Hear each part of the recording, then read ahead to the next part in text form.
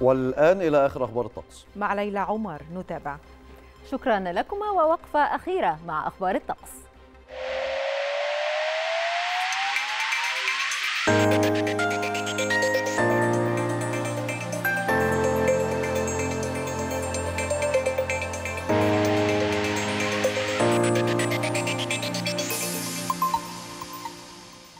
يتوقع خبراء هيئة الأرصاد الجوية أن يسود غدا الأربعاء طقس بارد في الصباح الباكر لطيف نهارا على القاهرة الكبرى والوجه البحري والسواحل الشمالية وشمال الصعيد معتدل على جنوب سيناء وجنوب الصعيد بينما يسود طقس بارد ليلا على أغلب الأنحاء.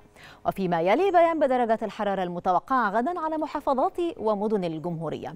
القاهرة العظمى فيها 20 الصغرى 11 الإسكندرية 20 11 مطروح 19 12 بورسعيد 19 11 الإسماعيلية 21 12 السويس 20 11 العريش 19 12 طابة 16 12 شرم الشيخ 23 15 الغردقة 22 14 ننتقل إلى الأقصر والعظمى 23 الصغرى 11 أسوان 23 11 الوادي الجديد 21 11 شلاتين 23 14 وأخيرا حلايب 21 و 14 والآن نستعرض معكم درجات الحرارة المتوقعة غدا في عدد من العواصم والمدن العربية والعالمية.